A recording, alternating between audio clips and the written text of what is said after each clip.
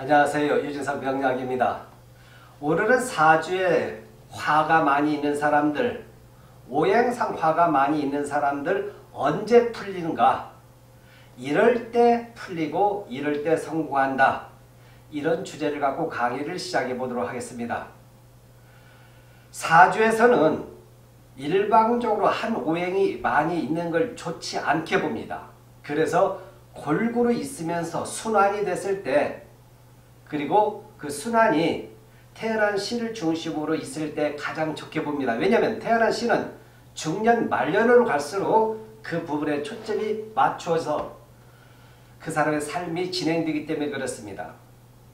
오늘은 세 가지 사주에서 화기가 많은 사람들 세 가지 유형을 갖고 설명해 보도록 하겠습니다. 그리고 언제 풀리는가 그 부분을 갖고 강의를 해 보도록 하겠습니다. 사주에서 화가 많은 사람들 화가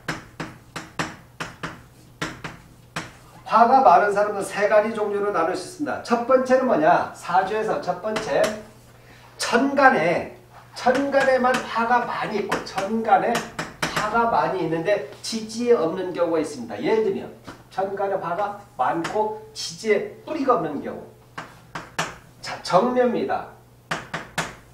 자 병지이다. 그냥 제가 적어보겠습니다. 그냥 마구적으로 적습니다. 그 다음에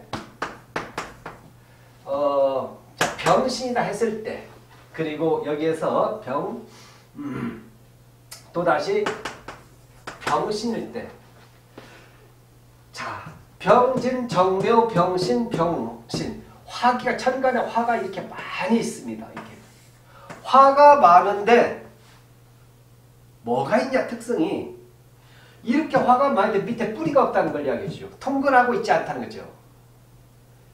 자 이렇게 천간에 화가 많이 있는 경우 두 번째 유형은 두 번째 유형은 신약하면서 화기가 많이 있는 사람들 신약 사주가 신약하면서 화가 많은 사람이겠죠.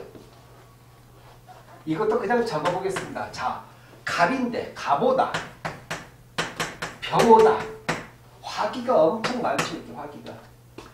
또 태어난 시에서 만약에 갑인데 병이 무슨 기사. 자, 이렇게 있을 때 사회 기운 자체가 화기가 굉장히 많이 있죠. 사주는 신약합니다. 신약하면서 화기가 이렇게 많이 있는 경우.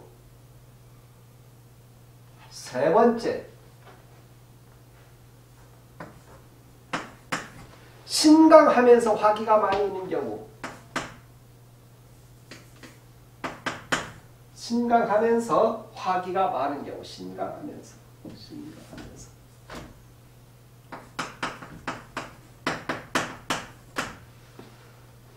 자, 그러면 자, 병인이다 이렇게 했을 때 병인 그 다음에 병호 이렇게 했을 때 정미 이렇게 했을 때 음, 만약에 이렇게 신시가 이렇게 있을 경우를 이렇게 보겠습니다.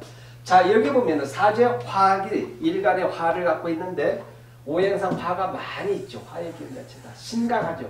신강하면서 화기가 있는 경우 신약하면서 화기가 있는 경우 천간에만 화가 있는 경우 오늘 강의는 화가 많이 있는 경우 화가 많이 있는데 그런데 이게 생각외로 많습니다. 사주 풀다 보면 이렇게 많습니다. 이런 사람들 이렇게 화기가 있는데 언제 풀리느냐 이 중에서도 사주가 언제 운의 흐름 자체가 가장 좋은 사람 화가 있는데 화기운이 가장 잘 적용이 되는 사람들 어떤 사람인가 자, 이 천간에 좀 화기가 있는 사람들 이건 그냥 10중 8구 인복이 없습니다. 인복. 주변에 많은 사람 옆에 비견이 있지요. 비견 비겁이 있는데 비겁이 있는데 이렇게 좀 뿌리가 없어요. 뿌리가 없다 이 말은 뭐냐? 이 사람들 뿌리가 없으니까 이 병화 일간에게 제대로 도와주질 않는다. 그래서 이런 경우는 주변에 술 친구는 많이 있으나 결정적일 때는 도와주지 않습니다. 바퀴벌레 숨듯이 다락 숨습니다. 결정적일 때. 허당. 그래서 이 자를 여기를 뭐라고 하냐? 이 허자를 씁니다. 허. 허화라 그래. 허화. 허하다 이 말이야. 허허허하다. 힘이 약하다. 그래서 이렇게 있는 사람들은 첫 번째 뭐냐 장사를 해도 모든 부분에서 이게 다 경쟁자들이거든요. 늘 승진 잘 안 됩니다. 늘 밀려요. 가장 중요한 형제들 있어도 각자 살기 바쁘고 모래알이다 이렇게 설명할 수 있겠죠. 별로 되지 않는다. 이것보다 더 좋지 않은 건 뭐냐? 중년 이후에 중년 이후에 골골골 하죠. 골골골. 골골골. 골골골은 뭐냐? 건강이 걸려요. 건강. 건강에 대한 뿌리가 없기 때문에 건강에 대한 부분에서 굉장히 좋지가 않다 이걸 이야기해 주겠죠. 건강. 그래서 종합 이렇게 보죠. 종합. 병원 이렇게 종합 병원. 여기 치료하면 여기 아프고 저기 치료하면 저기 치료하고. 자, 근데 여기서 서두에 이야기했지만 화기가 많이 있는 사람들 언제 출세하느냐 언제 성공하느냐. 이게 지금 세 번째 신강사주면서 일간 신강사주면서 신강사주면서 반드시 화기가 많은 사람 태어난 시만 하나만 봐라. 시 여기만 봐라. 시에 재성이 있는가를 봐라. 재성. 유머를 봐주라는 거죠. 관성 두르면 안 좋습니다. 이게 오행상 자가 두르면 안 좋아요. 얘네들고 싸운이라고 정신없습니다. 나 죽겠네. 아주 이게 자, 좌우상충하죠 그래서 이렇게 화기가 많은 사람들은 시에 재성이 있는 사람들은 뭐냐? 이건 한 방이 있어요. 굉장히 나중에 중말년에 괜찮습니다. 중년 이후 지나가면 괜찮다는 거죠. 10중 8구 다 좋습니다. 재성이 있느냐 이걸 봐주라. 금이 있느냐. 여기 축시에 있어도 축시도 금에 보니까 굉장히 좋습니다. 이게 만약 축시도 굉장히 좋아요. 이렇게 심각하면서 돈덩어리죠. 문서 부동산 아주 큰 재물을 취하는 사주죠. 그냥 볼 필요도 없이 신 있어도 좋고 축이 있어도 좋고 유라는 글자가 있어도 굉장히 좋습니다. 유라는 글자가. 서 많이 우여곡절을 겪겠죠. 우여곡절을 겪지만 그러나 얘네들이 왜 한 방이 있느냐? 자가 들어올 때, 자, 관성이 들어올 때 신자진 수급이 되죠. 자축 합이 되죠. 완벽하게 일어납니다. 대박칩니다. 재관 재관이니까 신강사주서 재성에게 관성이 들어오니까 명이 없는다. 아 국회의원 출마 당연히 나가야겠지. 어떤 감도 당연히 합격 아니 당연히 당선된다 이렇게 보겠죠. 감투를 쓰잖아요. 관까지 쥐잖아요. 재관이 상세 재성이 관성을 생각하니까 얼마나 좋은 일이 일어냐. 이때 여자들 같은 경우 이때는 부부 사이도 참으로 좋은 일들이 많이 일어납니다. 남편을 해서 대박이겠죠. 평상시는 그전에는 우여곡절 외롭고 힘들게 살았지만 말년에 대박이다 이렇게 보겠죠. 그런데 이 금이 여기에 있어야지 여기에 있으면 별볼 없어요. 처음에 좀 초장급 초장만 있지 끝판은 좋지 않다는 것이고 반드시 화기가 많은 사람들은 반드시 사주에서 먼저 뭐가 들어가냐 재성이 먼저 들어간다. 관성이 들어오면 싸움이라고 격이 합격이 돼요. 격이 떨어집니다. 재성이 들어오고 좀 신음할 때 관성이 돌 때 대박을 치기 때문에 이렇게 화기가 많은 사람들은 금이 먼저 사주원국에 있느냐를 보고 대운에서 수가 들어올 때를 봐주라 이걸 이야기해 주겠죠. 이때는 뭐냐 그냥 인생 승부수를 띄워라. 언제 승부수 뜨냐 이때 띄워야지. 이건 백발백중 괜찮습니다. 성공합니다. 제가 자신있게 이야기합니다. 어떤 일이든 내질러서 하라. 도둑질 해서라도 사업하라 이거죠. 그래서 나중에 갚아라. 성공한다. 어떤 상황에도 이것은 일어서야 한다. 일어서서 가라. 고생 많았지만 여기 들을 때 관성이 들때 히트친다. 직업과 재물에 대한 부분에서 괜찮다 이렇게 설명해 주 여기는 이렇게 들으면 중년 말년 괜찮습니다. 우여곡절 많이 겪었다 보여주겠죠. 우여곡절. 좌우상충, 길충. 길충입니다. 여기서 우여곡절 겪어도 막판에는 좋다. 그래서 이렇게 돌 때 뭐냐 지지고 볶고 뒤집어져도 저는 이렇게 설명을 하죠. 지지고 볶고 뒤집어져도 막판 당신 편이다. 모든 운세는 당신에게 가니까 즐겨라. 이겨라. 견디기만 하라. 막판은 당신 편이다. 이렇게 설명할 수 있겠죠. 그런데 시작하면서 이렇게 화기가 많이 있는 경우 이런 사람도 가장 주의할 것은 이건 건강이겠죠.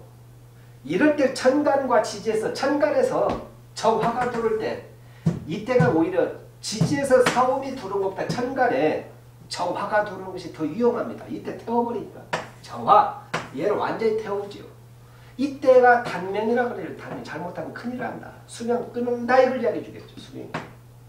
그래서 이런 시기는 신 약하면서 이렇게 화기가 많은 사람들은 다시 화의 기운이 들어올 때 이때가 가장 악재를 겪습니다. 가장 큰 고통을 받아요. 그래서 이것은 이미 취를 하라 이걸 이야기해 주겠죠. 이렇게 있는 사람이 자대운이 먼저 들어오잖아요. 자, 자대운 들면 참 힘듭니다. 너무나 힘들어요. 고통을 받습니다. 사실하면 당연히 축시와 축대운과 유대운이 들어갈 때 이때는 살아납니다. 이때는 살아나요. 그러나 얘를 까거나 호랑이 인이 돌 때는 인사 형사를 두면 이때는 뭐냐 몸에 상해 수술 받았다. 이건 100% 수술이네 이렇게 설명할 수 있겠지. 몸에 상해 수술.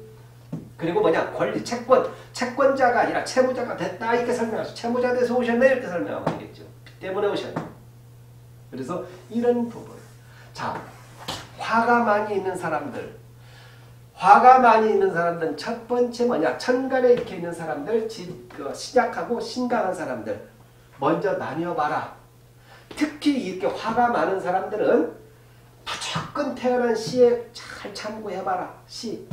시에서 시에 있는 지지에서 여기에서 오행상 금 암장이라도 조금이라도 그래도 금의 기운이 붙어 있는 것이 좋습니다. 근데 얘는 얘는 근본적으로 허약하다, 허하다 이거 뿌리가 없다는 걸 이야기해 주겠죠. 이 두 개는 태어난 시에 의해서 시가 이렇게 사시만 있어도 유대운과 축대운도 한 방이 있고 근데 이게 시가 재성이 없을 때 지장간에도 재성이 없을 때는 그럴 때는 힘들다. 그러나 만약에 재성이 있다면 관성이 돌 때 히트 친다.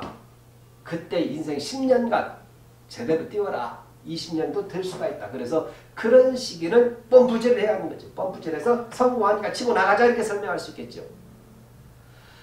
어쨌든 화기가 많이 있다. 오행상 화가 많으면은 명리에서는 왜 싫어하냐면 이게 화가 한쪽에 많으면 다른 쪽을 약화시키기도 좋지 않습니다. 화가 많으면 오행상 목을 작살내겠죠. 목은 뭡니까? 여기서.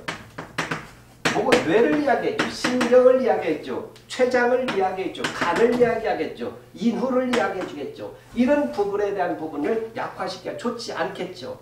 어떤 일이니 오행상 목은 내가 뭔가 솟구치고 나가고자 하니까 창업을 할 때 깨지겠죠. 그래서 이런 부분이 다 타버리니까 화의 기운에서 타니까 주의를 해야 한다 이걸 이야기해 주겠죠. 그래서 화기가 많이 있는 사람들은 항상 지지에서 천간이나 지지가 중요하다. 지지에서 재성이 있느냐를 봐줘라. 재성과 금과 화가 그래도 약간 그 평상시 이렇게 대립하고 있다가 관성이 들어올 때 그때는 뭐냐 꽃 피기 때문에 그런 부분을 잘 참고해 보시라는 거죠. 화기운이 많은 사람들은 시에 시에 신강하면서 신강하면서 시에 지장간이라도 잠깐이라도 금의 기운이 있는 사람들은 축대운, 유대운 이런 때 발복을 하게 되고 관성이 들때 괜찮습니다. 이렇게 설명할 수 있습니다. 특히 이런 경우 신시나 유시나 축시에 해당이 된다면 이 사주는 인생에서 로또다 한 방이 있는 사주다 이렇게 설명할 수 있습니다. 여러분 한번 참고해 보시기 바랍니다. 감사합니다.